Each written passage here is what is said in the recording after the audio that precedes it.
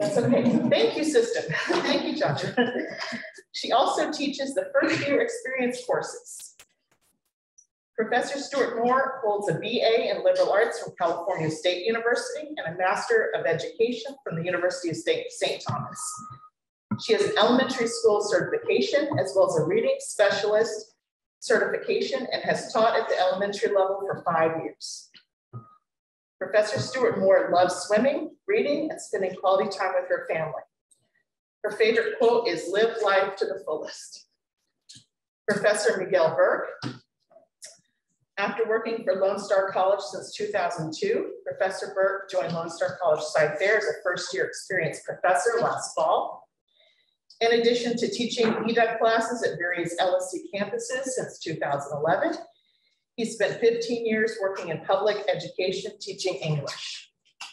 English is a second language and special ed. Prior to his journey into education, he worked as an editor and freelance journalist for a number of international entertainment publications. Professor Burke earned his Bachelor of Arts in Broadcast Journalism from Howard University and completed his Master of Education degree in Educational Technology and Leadership at Lamar University. With a passion for serving the community, Professor Burke enjoys creating impactful relationships with students while inspiring them to attain success. In his spare time, he enjoys spending time with his family, making music, DJing, going to concerts, traveling, kayaking, archery, and watching movies. I'm envious. one of his famous quotes, two roads diverged in a wood, and I took the one less traveled by. And that has made all the difference. Robert Frost.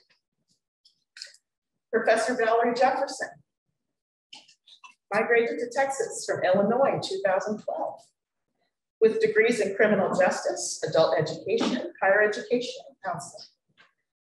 Professor Jefferson is a certified student success instructor with more than 15 years of experience in higher ed, including student services, supervision, and teaching and training with additional experience with curriculum development, counseling, and advising students on academic related issues. Her number one passion is student success. Having taught first year experience courses for over a decade, she loves working with first year students, providing them with support and assistance as they transition to college. Professor Jefferson strives to assist students to continue to pursue their passions. Professor Je uh, Jefferson, excuse me, enjoys spending time outdoors, working on her, her container home project and raising her backyard chickens. I'm impressed. impressed by all of our kids. One of her favorite quotes is education is the most powerful weapon which you can use to change the world. Nelson Mandela said And lastly, but not leastly, Professor Shamim Arastu. Professor Arastu currently serves as Department Chair of Education, first year experience. She has been in the field of education for over 22 years. She advises our future professional educators club and humanitarian connection. Professor Arastu is passionate about guiding students to think and act with the lens of serving others and encourages them to become global thinkers and doers. Her courses provide students innovative opportunities deeply rooted in service and global education. Professor Arastu enjoys the outdoors, traveling and sharing new experiences, adventures with her family, with her family, excuse me. One of her famous quotes is the teacher who is indeed wise does not bid you to enter the house of his wisdom, but rather leads you to the threshold of your mind. Okay, so without further ado, Professor Jefferson will now speak about You Belong, navigating the process. Professor Jefferson. Awesome. Thank you. All right, good morning, everyone. Good morning. Good morning. All right. I'm going to start off. I'm going to ask you guys to repeat after me. I'm going to throw a question out to you, and I want you to repeat it back to me, okay? It's where do I belong? I'll do it again. Do it. Where do I belong? Where do I belong? Good. I have to make sure you're here with me. All right. All right. Understand that you belong here at Lone Star College. All right. If you are a student that has a goal, a dream, a passion, a desire to do something and become someone, you're in the right place. You're here at Lone Star College.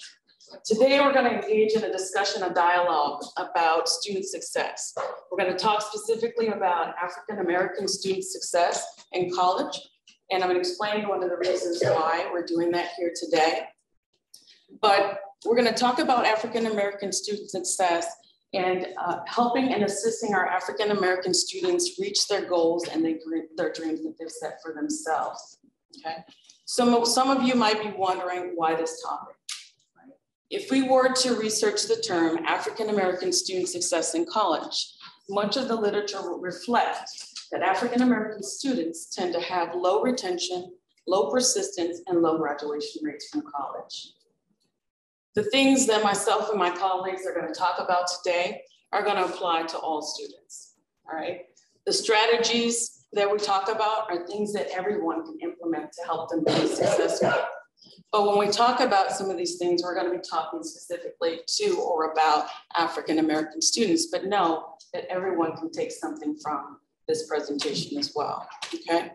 So by show of hands, how many of you guys know someone who's stopped out or dropped out of college? Quite a few. So all of us. So what are some of the reasons why those students dropped out of college or students might drop, reasons why they might? Just give me a couple. Yes. No money. All right. Lack of funds, finances. What else? Yes. Children. Children. All right. Children and other personal responsibilities. Anyone else? Yes. Couldn't keep their grades up. Couldn't keep their grades up, having difficulty performing academically.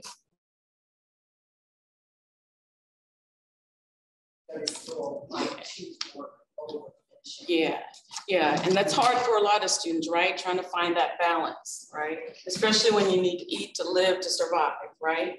Any others? Yes.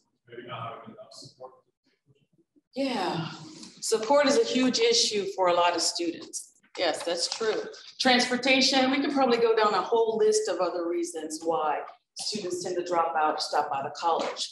Well, many African American students probably have some of those same issues, right? But they also, uh, that may cause them to stop out or drop out of college. But there's also some unique experiences that African American students might have over others. And I'm gonna talk about some of those uh, in, a, in a couple of minutes. But the term that one researcher uses is called cultural tensions, right? Which basically talks about the students' um, ability, stu students kind of struggling with their identity and their sense of belonging at the academic institution, okay? And again, that's something unique that many African American students might experience okay? But I'm gonna come back to those, those, uh, those three tensions, those three tensions that she talks about specifically in a few moments, and, and we'll talk about those more in detail when I talk about things that instructors might want to be aware of when they're um, interacting or working with African American students, okay? Well, we all agree that when we come here, we all come as who we are. We bring ourselves into this environment. Myself as an instructor, I bring all of my stuff with me, right? Do you bring who you are when you come to campus? Your background, your experiences in life, your experience in higher or in secondary or elementary education, right? You bring all of that cultural capital with you in the classroom. Yeah? You think that's true? Okay. So as African American students, we need to learn how to navigate the process of higher education, right? And take all of that, what Jane Elliott will term that cultural knapsack, all that cultural capital, bring it in here, be proud of all you got, right? And take it to help catapult you and help you to be successful as a student, okay? Learn how to use what you have, right, to help you to reach your goals and reach your dreams and navigate through that process. And we can talk a little bit more about that in question and answer session if you. All right, I'm going to share a little bit about my story tell you what was in my cultural knapsack when I went off to college my first year and what all I brought with me and some things that I did, some strategies that I used as a student. And we share with our students too, a lot in need of 1300, these very same things. Some of you might be shocked. They might be new and revelationary. Feel free to take pictures of them and share them. You can sell whoever will buy them if you want. But I'm the child of a 15 year old mother and an 18 year old father who didn't graduate from high school. If I followed the path of statistics, I shouldn't have graduated from high school. I probably shouldn't have gone to college, and I definitely shouldn't be talking to you today. Okay. But I took everything that I had to help me to get through. Everything that I was taught, all of my experiences helped me to build that resistance, become resilient, and persist through my education. That first year of college, it was not a straight path. I'm not gonna go into detail what it was like, but it just wasn't, okay? And so I had to learn to tap into resources and things within my environment. And those things are people or individuals, or some people that are sitting right here in this room today, okay? Many of you will probably see some of these strategies. We talk about them in our Education 1300 classes, and they may seem simple in theory, but they work, right?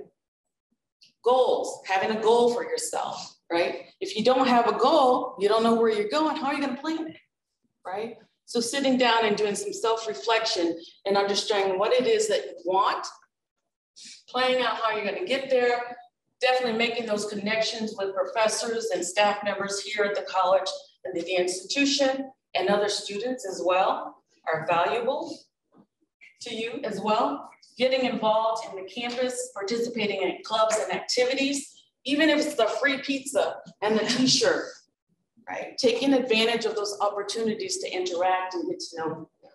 Studies show that when you get involved, you interact and you engage, you're more likely to stay and be retained. You're more likely to feel a part of that environment and connect, okay?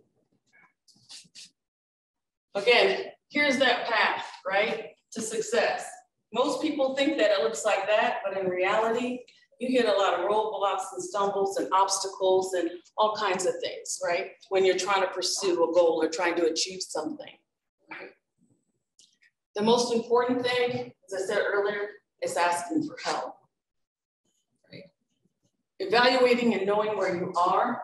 If things aren't working and you need some help and assistance, going to your professors, going to the staff, or the various student support services and asking for help to help you get to where it is that you want to go, help you accomplish and achieve what it is that you want to accomplish, all right? So you can pull out your phone and take a screenshot if you want, because those are life-saving tips right there, all right? Creating that space of belonging. Some things my professors did as a result of making those connections with them, they approached me when I needed help. English, kind of ashamed to say, is not my thing, okay? But when I didn't perform well on my English paper, my professor saw that. She came to me and she helped me, gave me some assistance, some guidance on what I needed to do and how I needed to do it better, right? She encouraged me to go to the writing lab, which I did, all right? So that I can improve my grade in that class, right? My instructors knew me by name. Sometimes even when I called, they knew who was calling. All right. They knew me by name and uh, they acknowledged me, acknowledged my existence. And many of them, a couple of them in particular, acted as my mentor. My criminal justice professor um, was actually um, my letter of recommendation to grad school, right? And so all of those things are important to make connections and pull a student in and let them be visible and seen within the academic environment. And then lastly, really quickly, those cultural tensions that I talked about. For instructors and staff at the college and the institution, know that the African-American student experience is different. It's different, yes, we experience some of those common stressors that everybody else does, dealing with transportation, finances, you know, trans uh, uh, children, um, all those things, right? Trying to juggle work-life balance, all those things in school. But this, these cultural tensions are unique to minority students, all right? And I'm gonna talk about each one of those. The first one is authenticating Blackness. Authentic- Authenticating Blackness basically means that a student is struggling with being too Black and not Black enough, right? Oftentimes, students will see seeking education as a white thing because it's not something that's normal as a part of their culture. And I was thinking, I was reflecting with Professor Arastu, and I was thinking about my grandparents and how um, when my uncles and my aunts were getting older and graduating from high school, they were like, where are you gonna get a job at? Their first thought wasn't college, right? Where are you gonna work at so you can get out and survive, right? And so that's the first one, being Black and not Black enough. The second one is the acculturative loss, right? Where a student feels that they are, they're losing a part of who they are when they come into this environment. Which kind of relates to the first one, right? You, you, you can be too Black and, and not enough Black, okay? And then lastly, this other one is kind of deeply rooted in Black culture. That connection with family, that connection with our communities, right?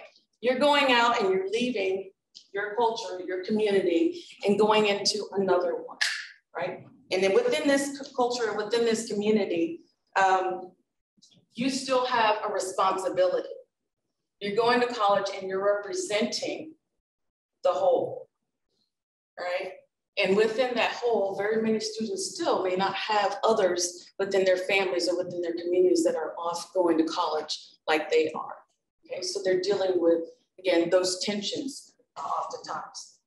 So lastly, again, these factors combined with some of the other ones that we mentioned before um, may cause a negative impact on a student's performance in higher education, their sense of belonging and connectiveness while they're there, and students ultimately may opt to stop out or drop out of college um, as a whole.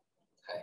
And so again, earlier I alluded to this relationship, the relationship between the institution and the students, right? So I think we all have a part to play in this whole, this whole process. We do our part, they do their part, and vice versa. And use that, change it. And for students, we're gonna get rid of this question. We're just gonna say, I belong. Because we have the resources and the tools here to help you get to wherever you need to go.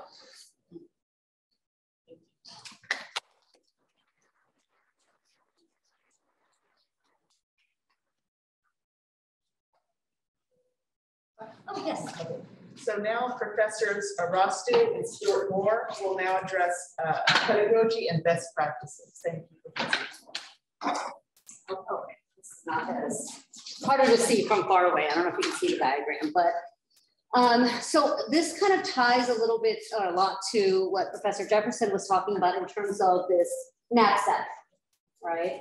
That a student brings to campus, right? We bring what we see here on this diagram, which is called the cultural iceberg, okay?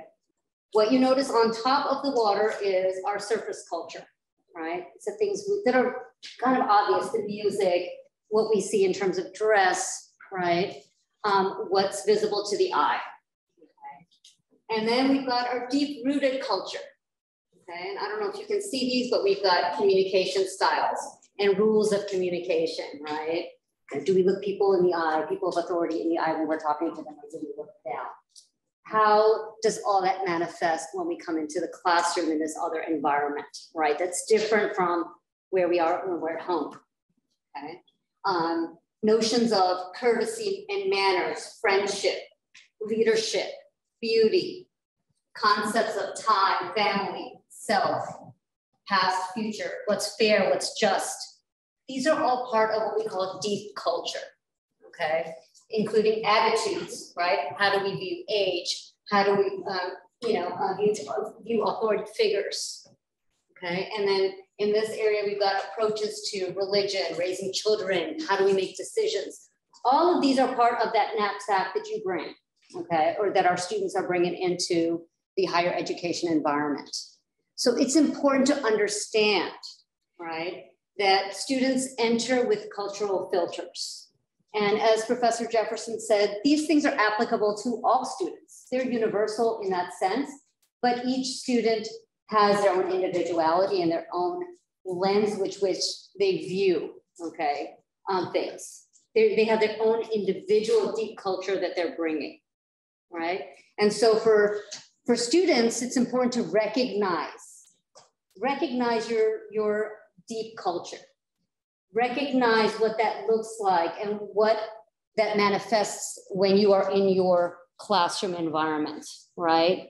What kind of barriers are you going to have to overcome as a result of what you're carrying and how you view things? Does that make sense? Right. So you have to recognize that so that you know when you need to ask for help. You know who you need to ask for help, right? And you know that maybe it'll take you an extra effort to do that. Maybe you need a friend to encourage you to do that because that's just, you know, the the um, environment that you're coming from. It's not easy for you. Does that make sense? Right? So for students, I'm emphasizing this because you need to recognize where you are and what you're bringing, own it, right? Own those strengths and know how to use them. And if you don't, you, that's where you ask for that help right? And then for faculty, it's important to empathize, understand, right? The key is understand. And if you don't know, besides what the surface culture is, that's when you dive deeper. Then you connect with those students and you find out, you know, what kind of attitudes do they share? What are those students' experiences that they're bringing into this classroom? What can they share with the rest of the class, right? Um, and even in recognizing what that student may need, right? You've got to understand the deeper culture, right? So I wanted to share that because I think that's very, very important. Um, Erika, do you want to share our quote? Yes, I, I absolutely love this quote because it, it represents who I was as a elementary school kid, middle school, high school. But kids don't care how much you know until they know how much you care. And I see this with my kids. I see this with even my college students. So we're going to talk a little bit more about how this quote impacts students, um, really making that connection for them to let them know that you do care about them, that they're not just some number, that they have a name, they have a background, they have a story. Absolutely. And I, I can just share a personal narrative of mine from this is when I was teaching in K through 12. Um, but I connected with a student that I taught in my first year, and I'm not going to give the date because that'll really that'll date myself. But it's been it's been over 20 years, right? And Facebook can bring a lot of people together. So I connected with a student who I taught in my first year of teaching um, about two years ago, um, and it was just kind of neat to see where uh, the student particularly had been and all his experiences. And one of the things he shared in the conversation, he was like, you know, uh, Miss Arastu, that's what he would call me, Miss A. Um, one of the things that was the most memorable that I really appreciated, and I never told you back then, was when you came to pick us up to go to Darian's funeral. And I, I was just very surprised when he said that to me. And he said, I, I would have never thought a teacher would come to my home and pick me up and then go attend another student's funeral and bring us back. And we sat and we talked and we debriefed about it. And he said that was just so meaningful. And in my mind, I didn't even think about that, that I was doing anything out of the ordinary. You know, unfortunately, we had lost a student that we all, you know, he was in, he was one of my students. And um, it was just like a natural thing. We didn't really think about lawsuits back then, I guess, maybe, that we can't go pick up a student, but that's what, you know, that's what I had done. And I just thought it was so powerful because it reminded me how important making those connections are it was just a really good reminder that, wow, maybe sometimes you don't think about that extra minute you're going to give a student and connect with them and know, hey, what's going on in your life? Or, you know, what have you been through this week? That's going to be impactful and something that they take with them, right? And it may help change their course, right? So building those relationships is powerful, right? And I want to make that point um, is that it takes two. people. Like as a student, you have to take that ownership. So you've got to own it, right? And as a professor, as a faculty member, that's part of our responsibility, right? That's what we do. As a human, that's what you should do, right? You reach out to that student. But I want to stress that with students, especially because that's always hard, right? Right? Sometimes you may not see it from your instructor, but don't let that stop you. You reach out. You reach out. Don't hesitate to take that first step. So I wanted to share that. Um, and that's part of that building relationships and making those connections, right? You can initiate and you can own it. Okay. These are just two um, actually two pioneers in culturally responsive teaching. And when we talk about culturally responsive teaching, right, we talk about understanding where people are coming from, right, understanding their backgrounds. Um, and so from the instructor lens, right, uh, that's where these definitions are coming from. But culturally relevant teaching is a way to empower students, right, intellectually, socially, emotionally, and politically by using cultural reference to impart knowledge, skills, and attitudes. So as instructors, we have to keep those deep cultures in our mind and try to incorporate, try to bring understanding when we are teaching whatever subject matter it is that we're teaching. We have to keep those things in perspective. That's what culturally responsive teaching is about, right? And I'll we'll go over some examples um, as to what that would look like in a classroom, right?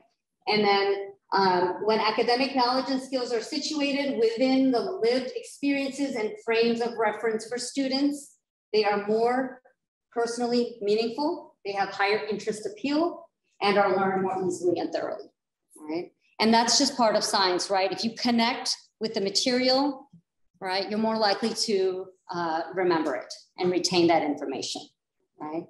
Um, so bringing in experiences, uh, bringing in interests of your students, right?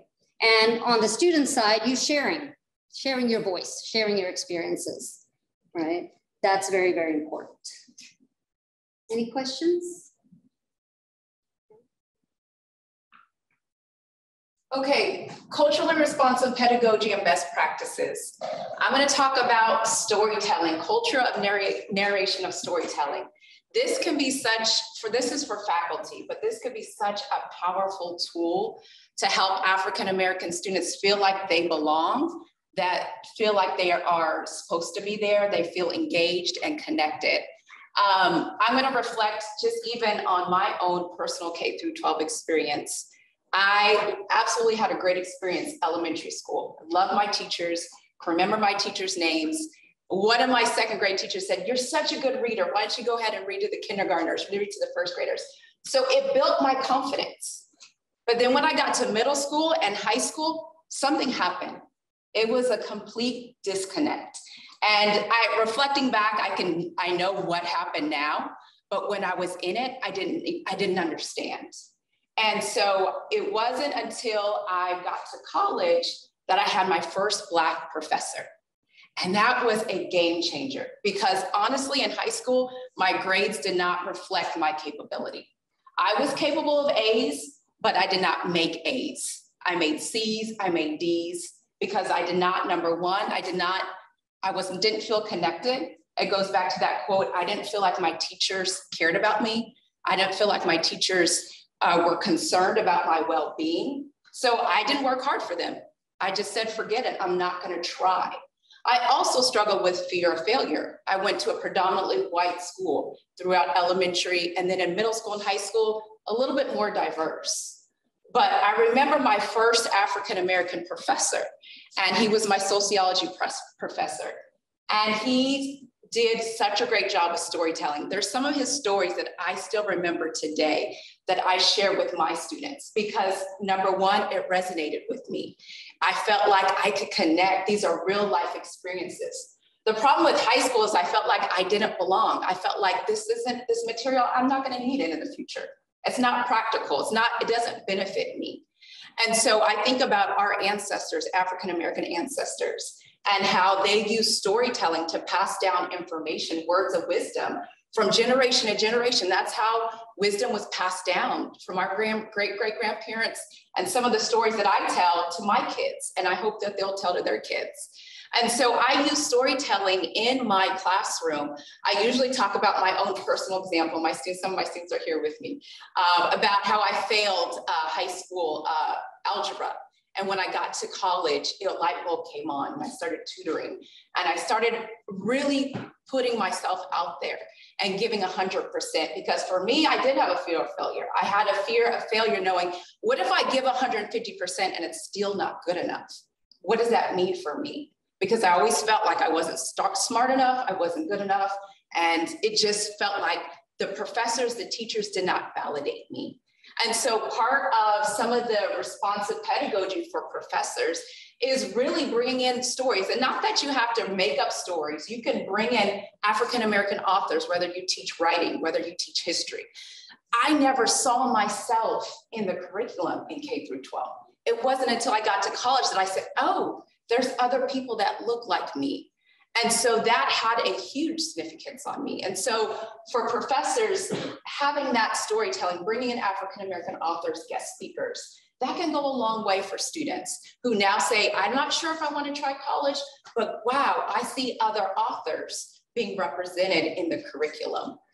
Um, Shamim, Professor Arastu is going to talk about Gamify. So gamification is a way to be culturally responsive. It is uh, something that universally can be done in all classes, and it's very, very important. It does uh, lend itself to cultures that are very collaborative, that are very social, right? And that's my understanding that African American culture is very family oriented, very social. They they build on um, interactions, right? And so gamification is a great way, you know, introduce a topic um, use assessment, uh, use a game as an assessment tool.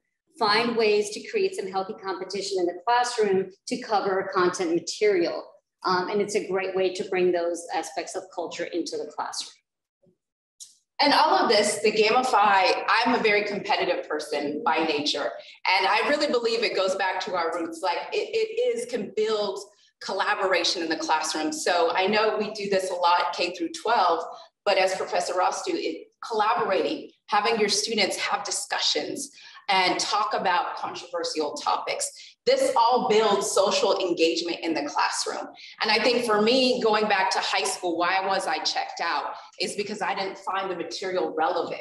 And so if you're an instructor, if you're a professor, if you can make the material relevant to how these students, African-American students, can apply this to real life, how it's going to benefit them, that's going to help with that social engagement in the classroom.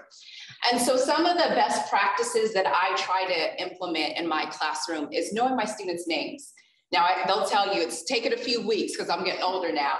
But I used to, the first week, I used to have everybody's name, and now it's like week four, I'm like, okay, tell me your name again. Um, but it does something. When somebody says my name out loud, they're, they're validating who I am and it just goes a long way. So knowing your students' names, um, also not singling them out. I think I could recall a middle school teacher that said I wasn't gonna do anything with my life because I did check out. I, I was capable, but I checked out. And so if you have some of your students that stop, start missing classes or not turning in their assignments, have a connection with them, have a conference with them and see what's going on. And don't single them out and just say, oh, Johnny, come up to the front. But what I did the third week, I teach the first year experience and we have a path to success paper. So I conference with all my students. So that gives me an opportunity to check in with them and see how's it going? How are you doing in your other classes? What are some things that you need help with? And so it builds that camaraderie, that connection that they know I care about them. So that's a simple, just best practice.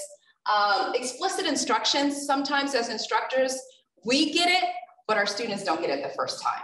And so really trying to differentiate your teaching style, because not always our teaching style matches their learning style. So if you can differentiate their, your teaching style and show it different ways, that's going to help students to be able to have those instructions that they need to, you know, be successful with that assignment. And if I can just chime in really uh, real quick, something that's very helpful for explicit instructions, break it down so that you are, you are, uh, you know, you're breaking it down in the most amount of detail so right. that it can help maybe the student that needs the most information, right? Whereas maybe another student might just skim through it and need like a couple of directions. Right. And you can always give it to a student beforehand and say, hey, does this make sense to you? And that gives you the best idea of, hey, do I need to break, are the directions clear enough? Because what we think and what we perceive is not what students think and perceive. And I think that's why I always felt like I wasn't smart enough because my processing time was a little slower. Sometimes I could get it in certain subjects, but sometimes it took a little bit longer. That doesn't mean I wasn't as smart as my peers. It just took me a little bit longer to understand and grasp that concept. So as a teacher, sometimes I try to say things in different ways and make sure they understand it's to the overboard to the point. Um, I think that's it. Yeah, we got our storytelling, fifteen minute conversation, as you mentioned. Um, yes, I think we covered everything.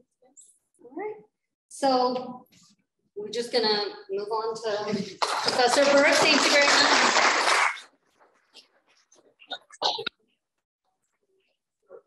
Professor Burke will now speak about from I too to I belong. Good morning, everybody. I just want to tell y'all first what a fabulous looking group you guys are. Give yourselves a hand. I need to get out of the way. Y'all please give it up my fabulous teammates. I don't know. passionate. Okay, so um, my name is Miguel Burke. Okay, uh, I have been teaching EDUC since 2011, but I, I, I finally got the opportunity to teach here at CyFair full time, and I love it, y'all. I love it. Okay, and so what I'm going to talk about today is going from I too to I belong. Okay, y'all said that with I too to I belong. All right, so uh, we're going to get none other than um, one of my favorites, Denzel Washington, to read this poem for you guys. Uh, maybe not. Can you click the video? please?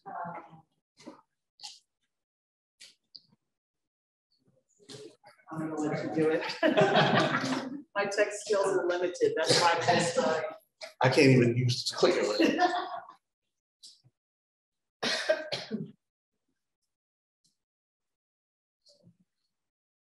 I am the daughter.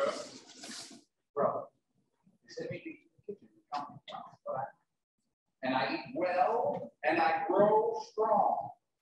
Tomorrow I'll sit at the table when company comes. Nobody will dare say to me, eat in the kitchen then. Besides, they'll see how I am and be ashamed. I too am American. Okay, so we're gonna go to I too, from I to I belong. But I kind of have a different way of doing things. And so I need y'all support. I need some energy. Can y'all do that for me? Okay, this is what we're gonna do. I need y'all just clap. You know what I mean? Yeah, okay. All right, y'all, here we go. Repeat after me. From I to I belong. LSC. We got a going on. From I to, to I belong. LSC. Where I belong. Give yourselves a hand. Thank y'all for doing that. Okay. Uh, Wow.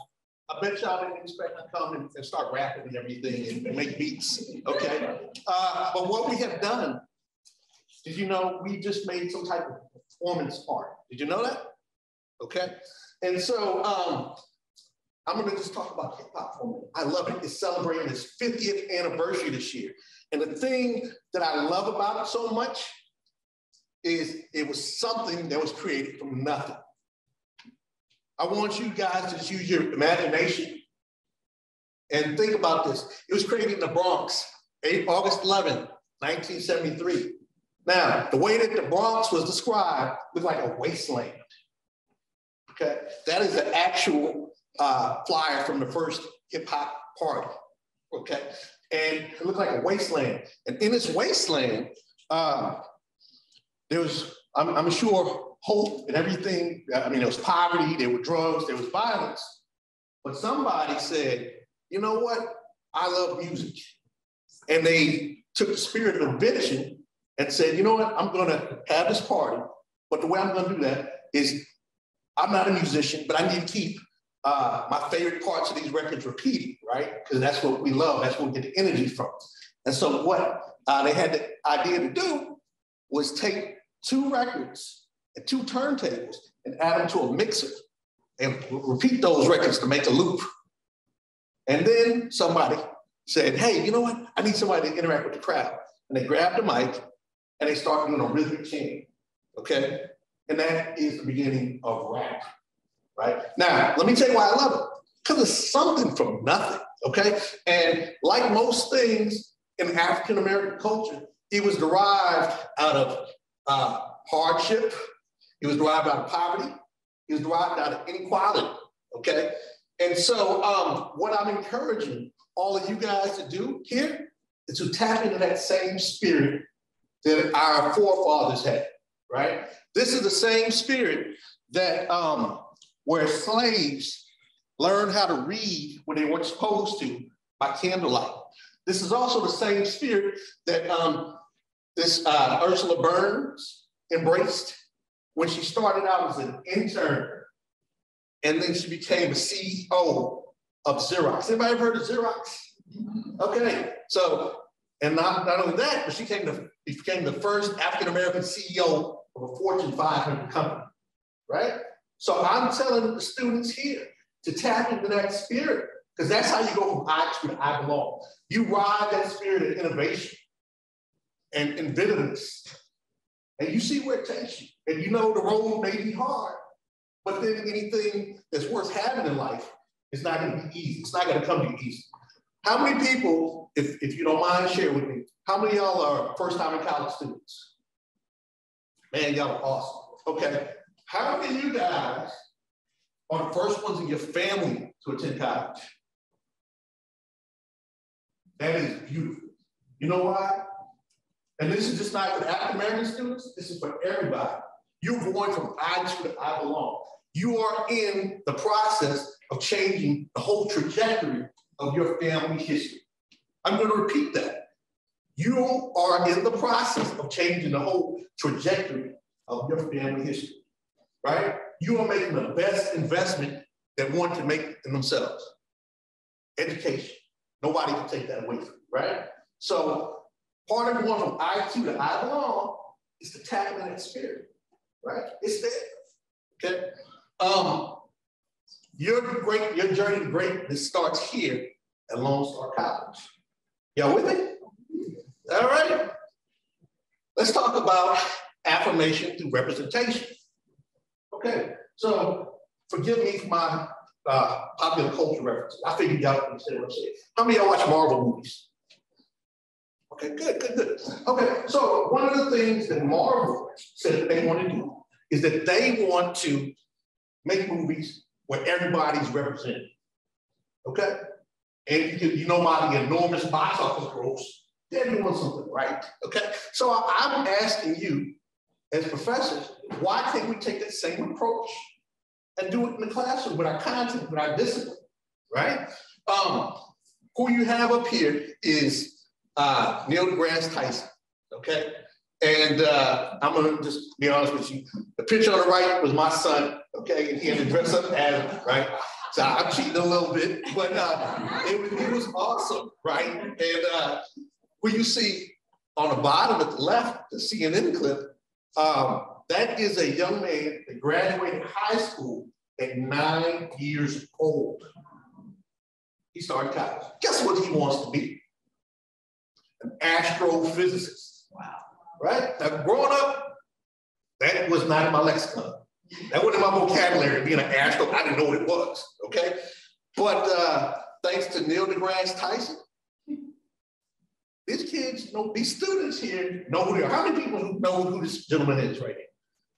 All right, that's in that's in our cultural lexicon now, right? So what I'm going to ask all our professors to do is like we're already wonderful. We're working with these students, right? Y'all are taking care of these students. If you're here, you're in the right place, your heart's in the right place. Let's see what we can do to create more um, content that has a natural integration of African Americans. After we do that, let's go for our Hispanic students and our Asian students and so on and so forth, right? Because everybody, like the superheroes, needs to see some type of representation of themselves, right? Do you know that every time you pass by a traffic light, it was invented by, I believe his name is Garrett Morgan. He came up with a patent for a three signal traffic light. What about, uh, I can't remember her name, but it was a, a female African-American inventor. She invented the, the, the technology for the gift file. Anybody use gift files? Oh, I, I, I use them all the time, right? So, um, I mean, we're everywhere. We're everywhere. So why are we not bringing this in mainstream? We live in a culture where we celebrate our differences, right? And so that's one of the ways that I think as professors that we can do that, right? And I, I don't think it's hard, right? Okay, why else should we do it? Because it's a family affair, right? So unfortunately, we have a little problem with the data for African American students. But in the fight together, right? We're gonna change that, okay? And so um, one of the most beautiful things about Lone Star is it's in our LSC faculty qualities of excellence, right? It's also, uh, you see how it says embracing diversity in all its forms, right? It's also um, just everywhere you look at Lone Star, it is here, okay? And uh, something I would like to kind of tell you about that, that made an impact on. And I don't know if she knows this, but our, our president here, Dr. Valerie Jones, a while ago, she sent an email out, okay? And uh, in this email, she's talking about how we need to recover from COVID and how we need to just kind of get back to normal. And she's hoping we can do that. And then she talked about going to the movies. And she said that the movie that she wanted to see most was The Woman King. Right? Anybody see that? And I was like, whoa, whoa, that like, it was, it was connection for me. And y'all, I'm usually the kind of person, I mind my business. And I don't say anything, I, am probably gonna stay in that corner. That's just who I am, right?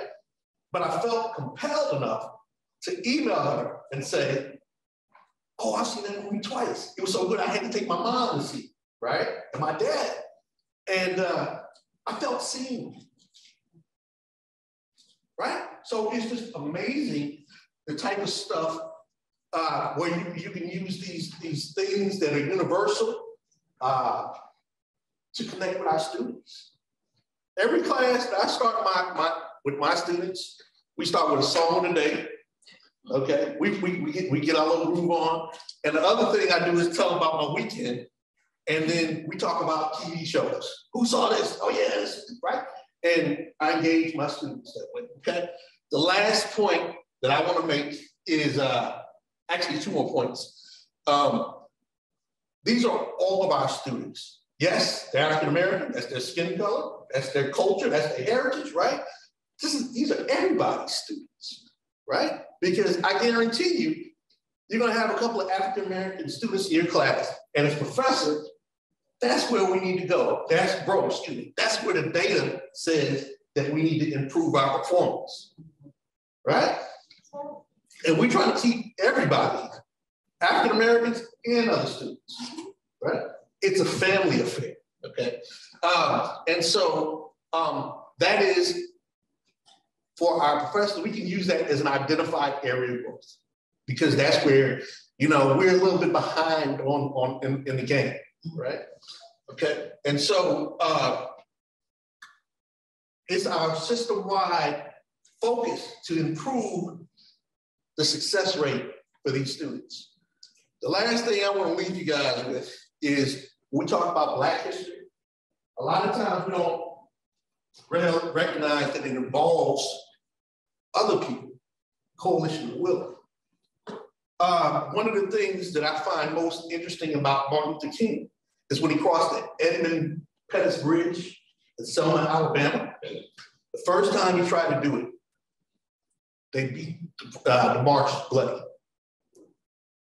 The second time they tried to do it, he had a feeling that it was going to be worse than it was the first time.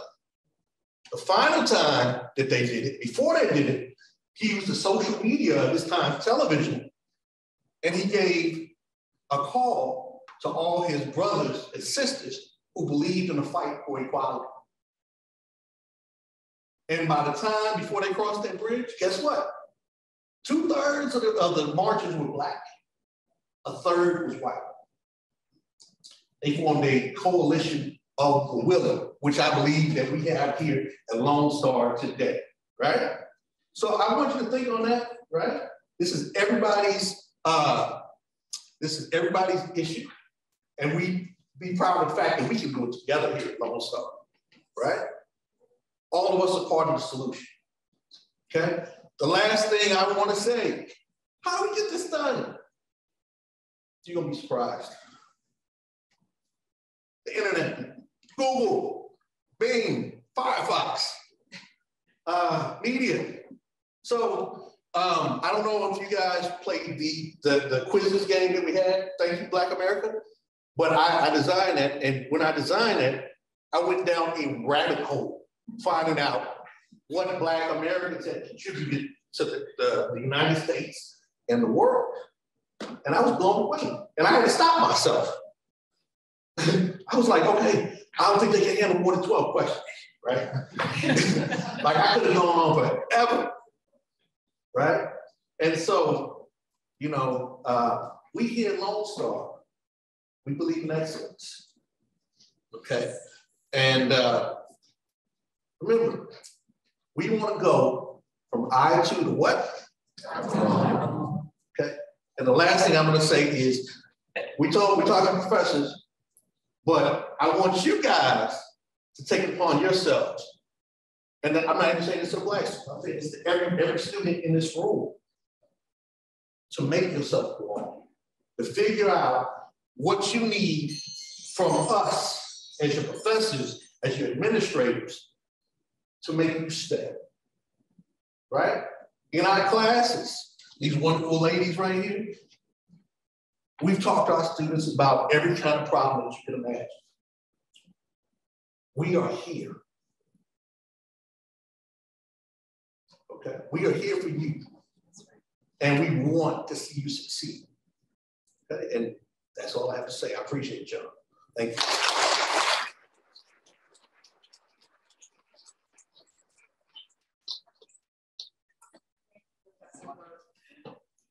Um, we have a few minutes for question Q and A session.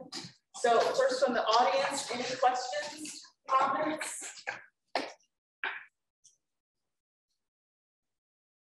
Not all at once. Where's the energy? Where's that energy? I'll, I'll go. Uh, I first like to say, great job. This is a uh, topic uh, I feel definitely feels like needs to be discussed. I'm not sure if you guys remember we had our convocation not long ago. Um, Dr. Jones was talking about the low retention rates and graduation rates, specifically among African American males at the school.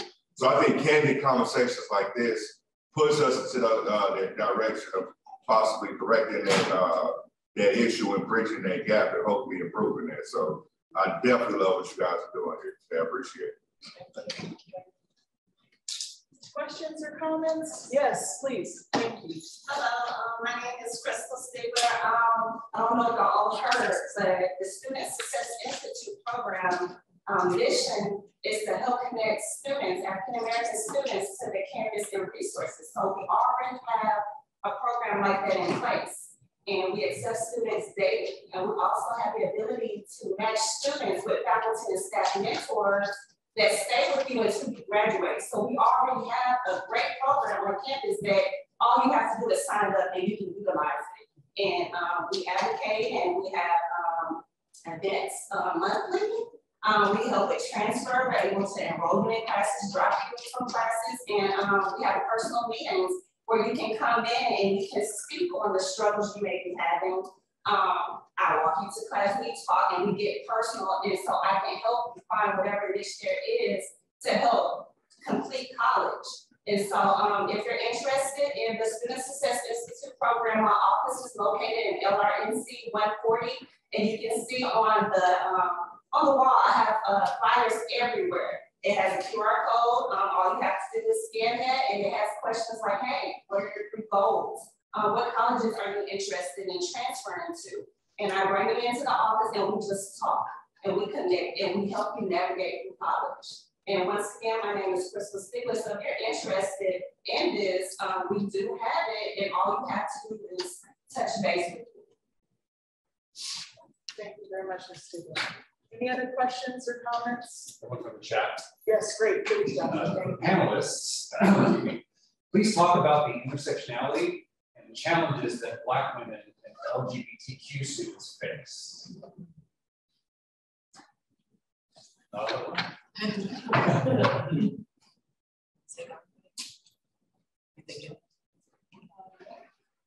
We're thinking about.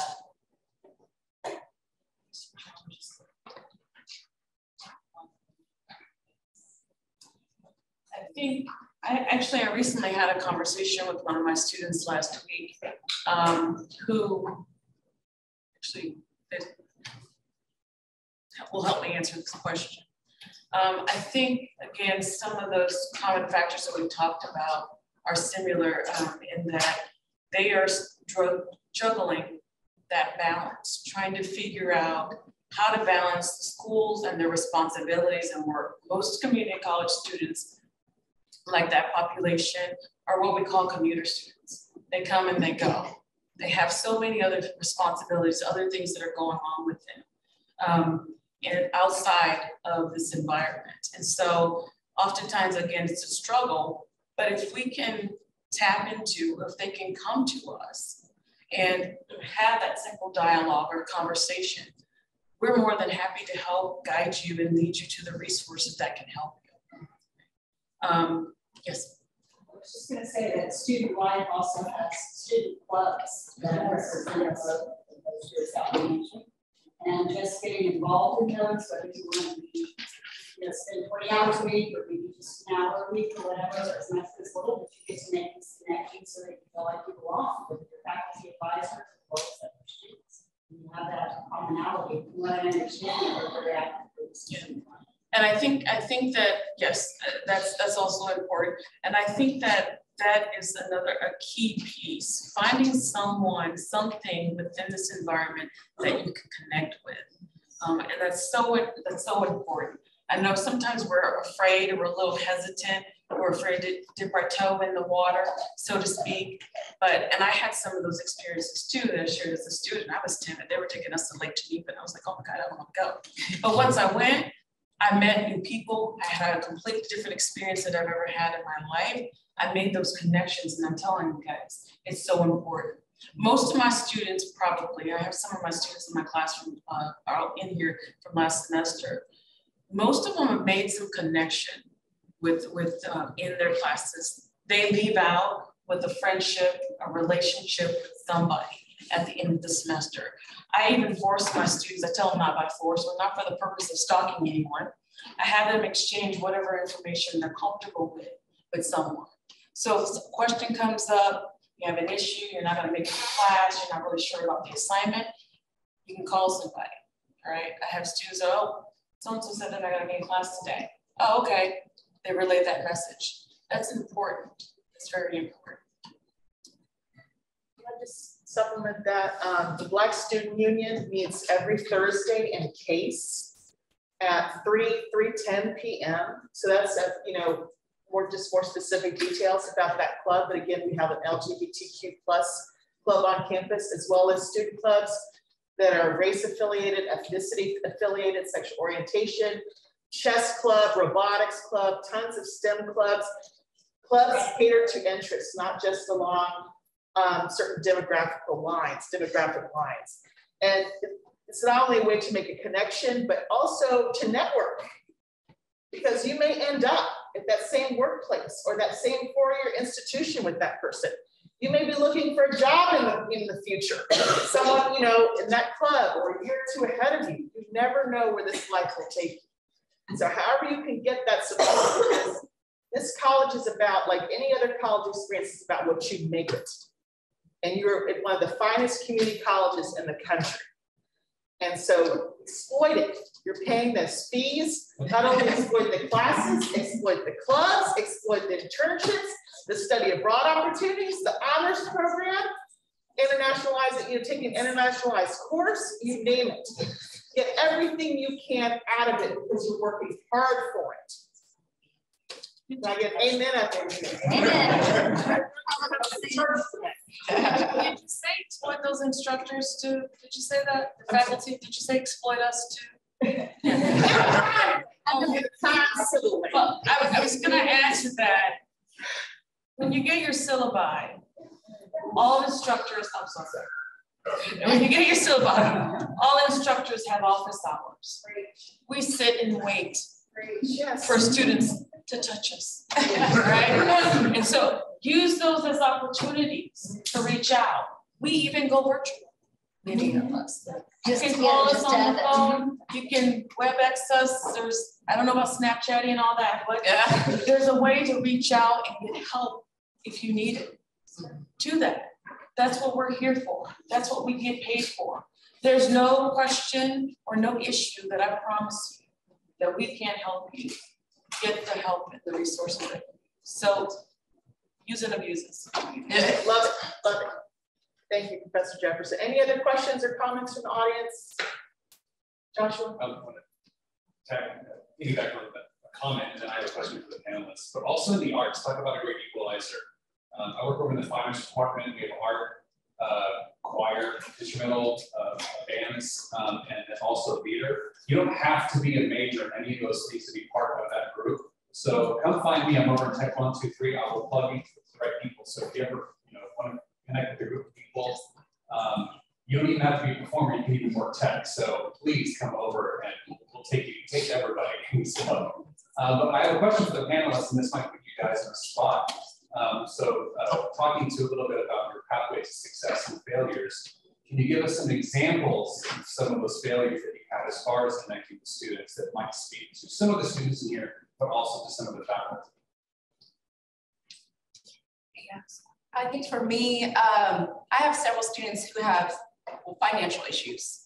Um, a lot of my students, uh, I notice maybe coming in late to class. And it's usually because they have to pick up, drop off a sibling for school. Uh, they're helping out a grandparent. So it's just life factors that are getting involved with them being successful. And so a lot of times when I have that conference with them, we kind of brainstorm and see how you know, I can help meet their needs, what resources they have. Um, one thing that I, I know we've talked to other professors on this ride share. A lot of students struggle with transportation just to get here. Um, I have one student who he rides his bike. And when it's raining, he has to try to get a ride. And it's hard for him. So just brainstorm, but I wouldn't have known that if I didn't get a chance to conference and get to know my students. So I think those are one of the financial challenges um, just trying to get to class. Um, and then mental health is huge. Mental health, I see even when we when they write their paper, a lot of them are struggling how to get the resources, the motivation to even just keep coming back to class week after week. And I second that. I'll agree to that. I think mental health has been definitely a struggle for a lot of students. Um, and not knowing how to seek the help and sometimes just needing somebody to walk with you to get the help. Um, and I think that students need to know we're there, right? But if we don't know, we can't help. So you've got to own that and use that voice and communicate it so that we can be that resource for you, or we can connect you to those resources. So definitely, and if you know, and being absent for some reason or the other, and communicating with the instructor was another challenge I, I personally have seen. Is just talk to your professors, share with them that you know I'm out because, and we can work with you. All right. So I would like to add to all the wonderful comments that everybody um, said that uh, when we, as professors, like I think we try to look at people as a whole. And we try to get to know you personally. Know what people are like, like snowflakes, right? And um, so one of the, one of the greatest, they had when I interviewed for this job, uh, one thing I told them is, I think I have good problem solving skills. and I really feel like I put them to use here, right? And what I like about teaching my subject matter, it's not nebulous content. Sometimes English can be kind of nebulous, right? You're trying to learn what an idiom is, don't even, but this is like real life. And I encourage students to talk to your professors. We want to get to know you, right? And we want to help you address your challenges. I mean, that's what we're here for. And again, we're passionate. We're passionate about it, right? And a lot of times with our students, we're always trying to make a way out of no way, right? Uh, a lot of times, uh, students are dealing with so many things, mental health issues. It's funny because before I did this, I was uh, one of my students sent me an email. You know, student uh, was trying was saying that uh, she, they're struggling right now, and uh, they I'm like, okay, but you need to come back to class to get this motivation, right? To get uh, to, to help help us make you way get make a way out of nowhere, right? To get the encouragement. We do one of the assignments I do in my class is called Spirit Crushers. And uh, I brought that with me from, from North Harris because I thought it was just such an awesome sign. I did it last semester, and um, the students were like, Professor Burke, why didn't you give this to us sooner? But the assignment allows them to identify people that try to crush their spirit and, and, and stop them from being who they are. And um, like it's like a little paper they write. And uh, you know, you know who the number one spirit crusher is? Anybody want to take a guess? Not teachers. Teachers are number two. That's number three. Who, who's, who's the number one spirit question? Parents. Parents. So I guess like a lot of times when y'all come talk to us, you know, sometimes people don't have that uh, support system. But we, while you're in our class, we're gonna be that support system. We're gonna inspire you. We're gonna, uh, sometimes you may need that little push or kick in the butt, you know, but we're gonna give it to you. Okay, we're gonna love on you. All right. And uh, that's just that's what we do, right? And, and so talk to your professors, get to know them as much as you can.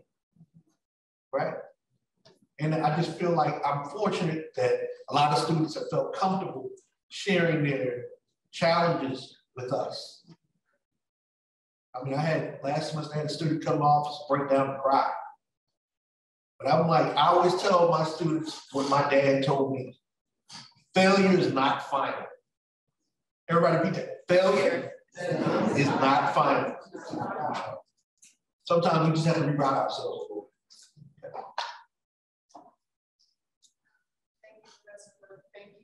Professor Arastu. Thank you, Professor Stewart Moore. Thank you, Professor Jefferson. Thank you all for coming. Thank you to Dr. Jones.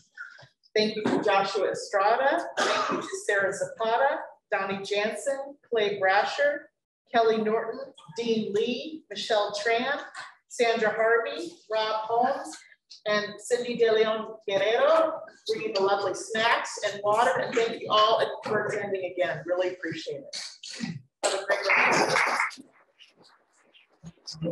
rest.